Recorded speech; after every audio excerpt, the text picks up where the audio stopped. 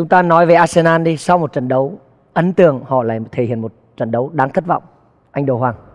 À, ờ, Arsenal mùa này ờ, đáng lý là là họ họ đã đổ tiền, họ mua rất nhiều cầu thủ hay. Họ mua một PP một cầu thủ mà không ngại ngần mà thể hiện cái tình yêu dành cho Chelsea ở trên mạng xã hội là anh nói là bà Granovskaya ơi, hãy đến mà mua tôi đi. Cuối cùng à, là Arsenal mua. Thì đó, chúng ta mùa ờ, cái cái cái cái chương trình trước chúng ta nói là họ tạo một cái cái cái hệ thống ba đồng pháo ở trên hàng công rất hay nhưng mà mùa này thì tôi thực bây giờ tới trận đấu này thì tôi lại thấy là nó hơi kỳ kỳ và rõ ràng. Lúc nãy chúng ờ, lúc nãy tôi đã coi kỹ những cái phần ờ, phát biểu họp báo của của các huấn luyện viên á. Tức là tôi thấy là là ông ờ, ông Unai Emery này nè chán ông có tới 5 nít nhăn.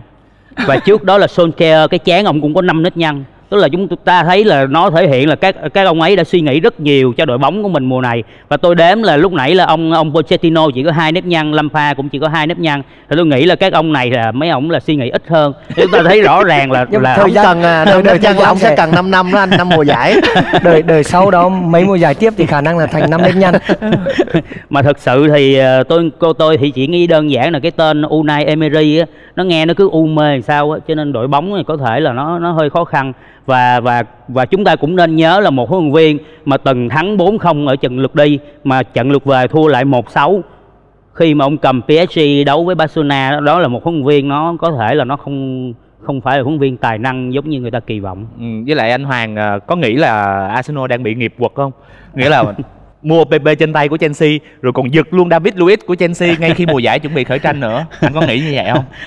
À, riêng cái trường hợp David Luiz tức là tôi lúc mà thời điểm mà mà mà Emery mua từ Lâm Lâm Ha là tôi cũng đã cảnh báo các fan Arsenal rồi. Tôi nói là nên cẩn thận cái cái anh David Luiz này tại vì ảnh ở trong đội Chelsea là ảnh rất là rất là hay diễn hề. Ảnh diễn ngay lúc mà đang trả lời phỏng vấn, ảnh diễn sau lưng những cầu thủ trả lời phỏng vấn rồi trong phòng thay đồ ảnh cũng diễn, ảnh chọc phá tất cả mọi người và lên lên tới sân đấu ảnh cũng diễn tiếp thì Chelsea đã trải qua trường hợp đó rất nhiều. Và chúng ta thấy là bây giờ ảnh qua tới ờ, tới Arsenal thì người ta đang gọi ảnh là một cái gã hề. Thì tôi cũng chỉ kể câu chuyện nhỏ nhỏ nó vui thôi. Tức là là lúc mà Lampard bán ờ, David Luiz sang cho Arsenal nhiều người mới kêu là Lampard sao ông này ông dở ông khà ông ông khờ vậy ông dại vậy? Ông bán ờ, David Luiz đi để ông sử dụng một cầu thủ như Zuma. Cầu thủ cũng rất là hay rất là hay hay ngáo ở trên sân. Thì bây giờ chúng ta coi tới điểm này chúng ta biết tức là Lampard đang làm cái chuyện là giảm thiểu thiệt hại tức là bây giờ thay vì giữ hai cầu thủ mà nó nó nó hơi dở trên sân thì ông đẩy một cầu thủ sang và ông chỉ còn lo một cầu thủ thôi thì tôi nghĩ đó là nó nó đợt sự nó- rủi ro.